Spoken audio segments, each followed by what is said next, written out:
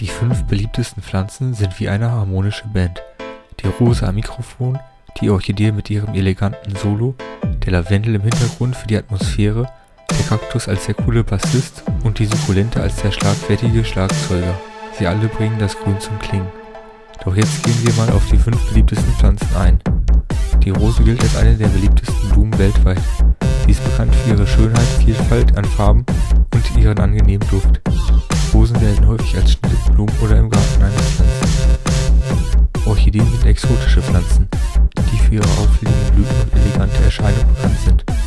Sie sind beliebte Zimmerpflanzen und werden für ihre Vielfalt an Farben und Formen geschätzt. Lavendel ist eine duftende Pflanze, die für ihre violette Blüte und ihren angenehmen Geruch bekannt ist.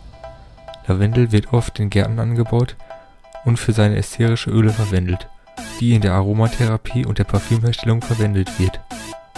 Sukkulenten sind pflegeleichte Pflanzen, die in vielen Formen und Größen erhältlich sind. Sie sind bekannt für ihre fleischigen Blätter, die ihnen helfen, Wasser zu speichern. Sukkulenten werden oft als Zimmerpflanzen geschätzt und sind wegen ihrer Vielfalt und ihren geringen Pflegeanforderungen beliebt. Kaktusse sind ebenfalls Sukkulenten und erfreuen sich in größter Beliebtheit. Sie sind für ihre stacheligen Erscheinungen und ihre Fähigkeiten, in trockenen Umgebungen zu überleben, bekannt. Kaktusse sind als Zimmerpflanze beliebt und werden oft als dekorative Elemente in modernen Innenräumen eingesetzt. Wenn dir dieses Video gefallen hat, dann lass doch gerne ein Abo und ein Like da.